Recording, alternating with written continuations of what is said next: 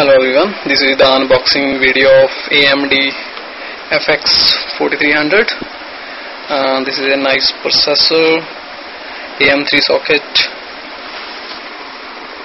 Sorry, it cannot zoom well.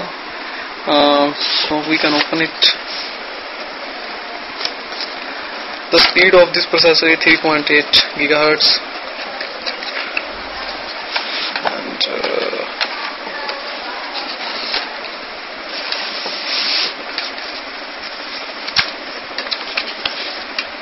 a quick user guide. And, uh, and this is the processor and uh, here is the sticker. Sorry for my bad camera. And uh, here is the heatsink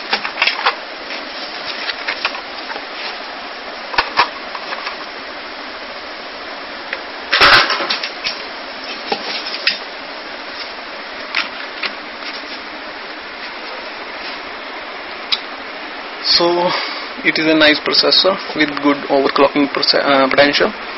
Uh, its a normal speed is 0.8 gigahertz and uh, total of 8 MB cache.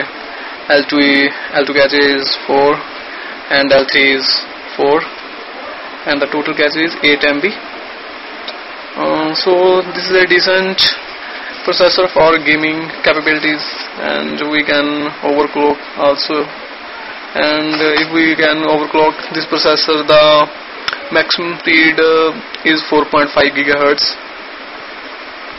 So thanks for watching